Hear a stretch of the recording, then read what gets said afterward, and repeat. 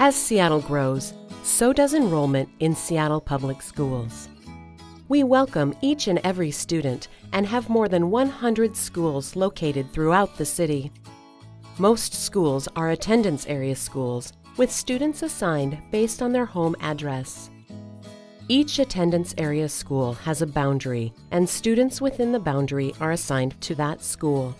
As more students enroll in the district, some schools end up with more students living within the boundary than the space available in a school. When a school has more students than the number of seats it was designed for, the school is considered overcapacity.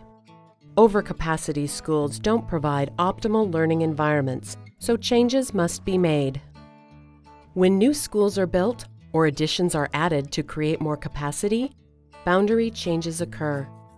Boundary changes may also be made when one school is crowded and another has room for more students.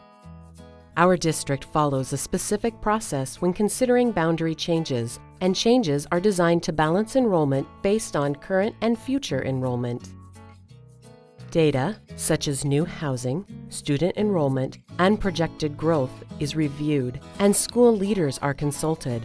This information is used to draw draft maps for new boundary areas.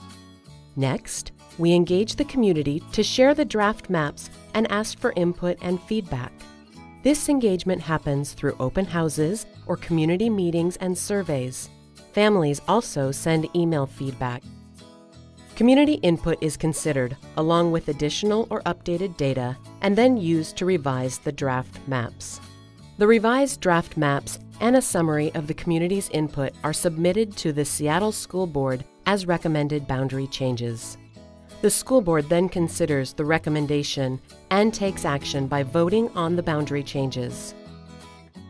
Once the process is complete, the approved school boundary changes typically go into effect for the next school year.